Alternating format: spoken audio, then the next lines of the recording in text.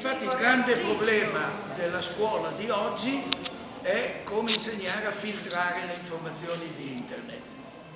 Cosa che neppure i professori di solito sanno fare, perché anche loro sono dei neofiti rispetto allo strumento. Quindi uno dei grossi problemi e drammi del nostro tempo. Uno, cominciato a proporre che i giornali, invece di raccontare tante pettegolezze, eccetera, dedichino due pagine ogni giorno all'analisi critica dei siti.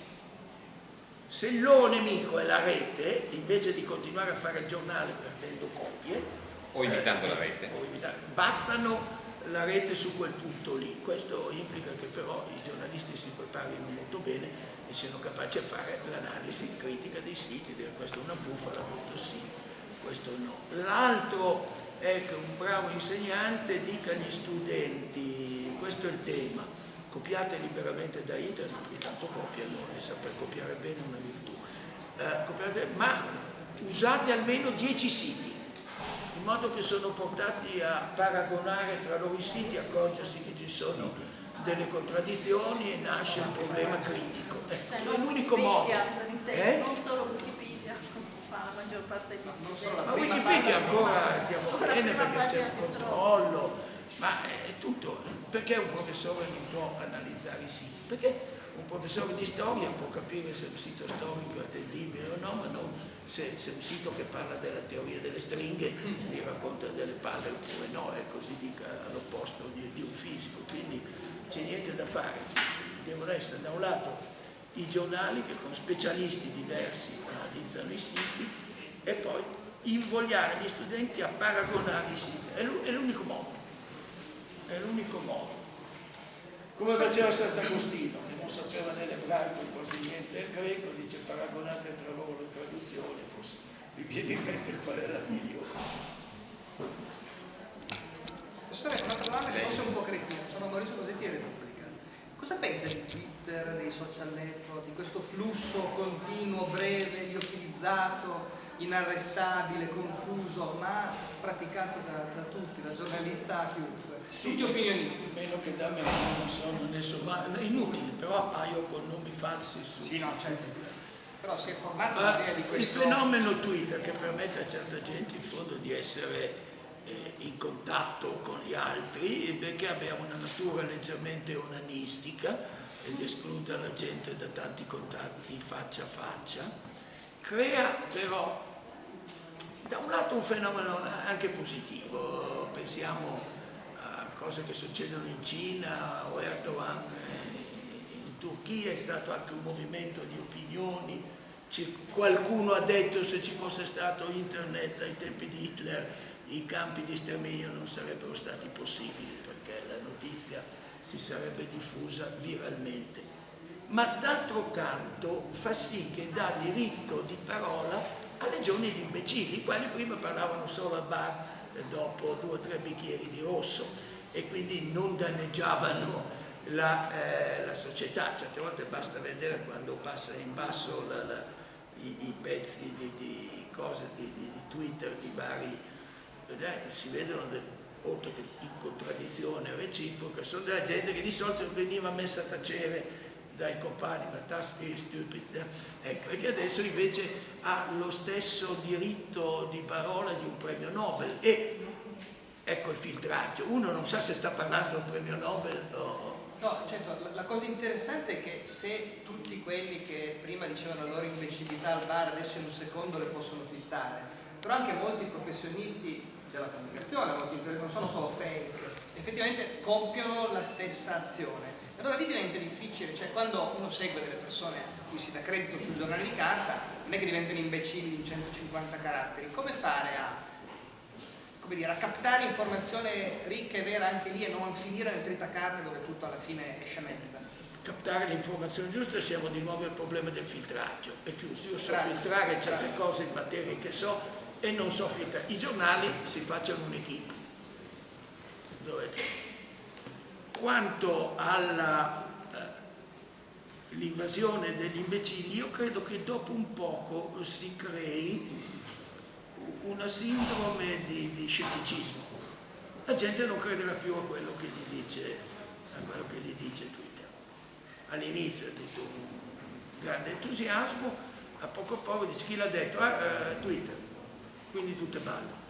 È, è come se una volta l'orario Palagi o l'orario Pozzo cominciano a pubblicare due notizie false sul treno Torino-Pinerolo, dopo poi nessuno, nessuno lo compra più, non si fida più, ci si fida perché di solito ha dato sempre eh, notizie, notizie, esatte. Eh, Quindi è una fregatura anche per i comunicatori che in teoria non direbbero scemenze, finendo sì, lì... Non crederanno neanche più a loro. Non crederanno neanche a loro. Intanto come posso essere sicuro che un messaggio è davvero di, di Papa Francesco? Quando uno può fingere di essere Rita Hayworth e invece un maresciallo di carabinieri in riposo.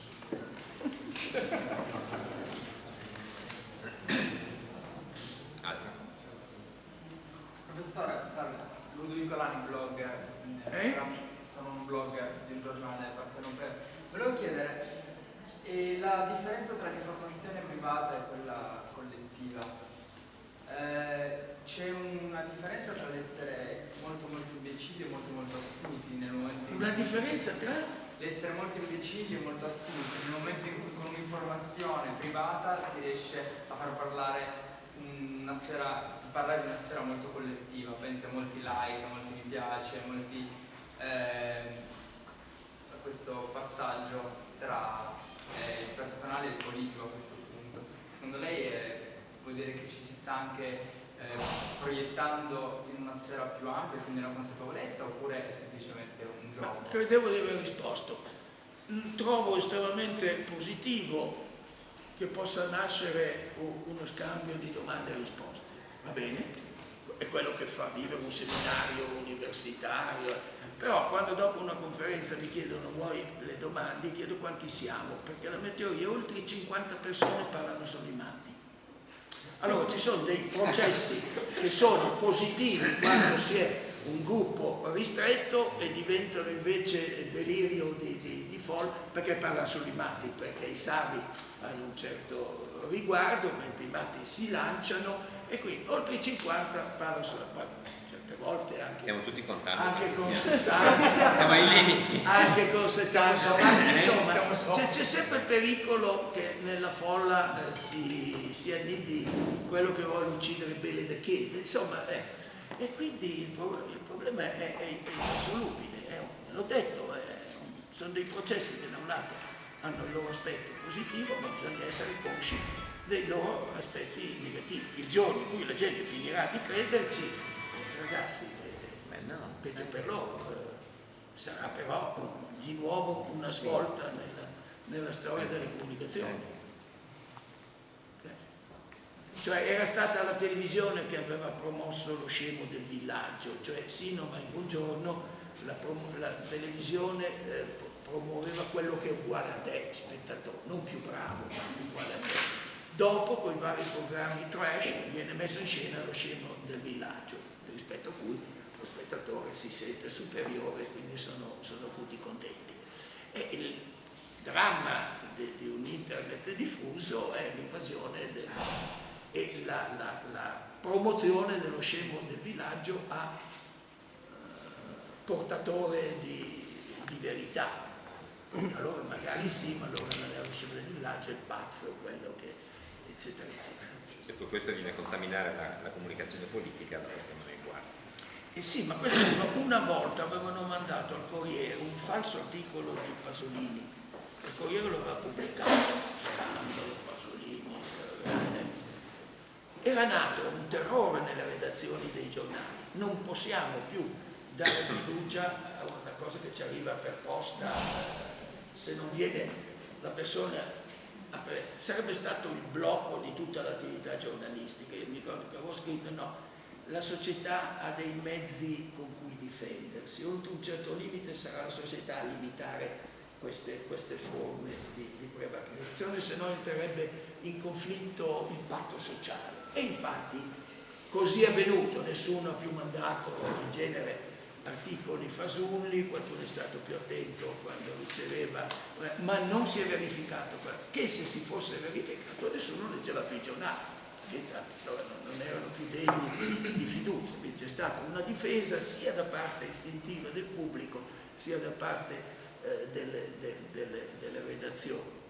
Può avvenire questo su internet? No, dipende solo dalla capacità critica di chi, di chi ci naviga, sapere riconoscere la fonte, cosa che con i giornali, con le case editrici non succede, se leggo Repubblica so che mi dice quelle robe lì e se leggo il giornale so che me ne dice delle altre, quindi predispongo le mie difese critiche. O se so che un libro è di Gallimara, eccetera, eh, lo prendo più sul serio che se... Eh, Piedi.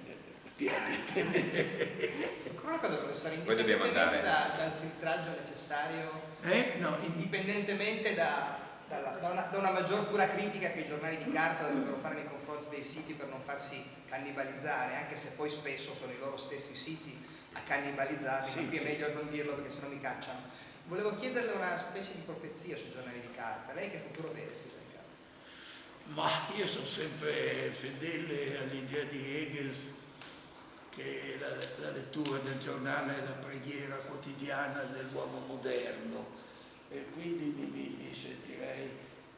Eh, io credo che ci sia un ritorno al cartaceo, perché non mi ricordo se Google o chi ha comprato un giornale americano e un altro, cioè hanno investito sul cartaceo. Alcuni, alcune, sì, alcune aziende di, di, di, che hanno vissuto e trionfato in internet hanno, comprato, hanno cominciato a comprare del cartaceo, due giornali americani, ci, ci, ci si attendeva a un certo punto che, che, che, che Google comprasse il New York Times, vabbè. però il fatto che abbiano investito sul cartaceo, siccome non è gente stupida, dice che c'è un certo quale eh, avvenire ancora Così, almeno per gli anni che mi sono consentiti da vivere, ci campo ancora benissimo. Grazie, arrivederci.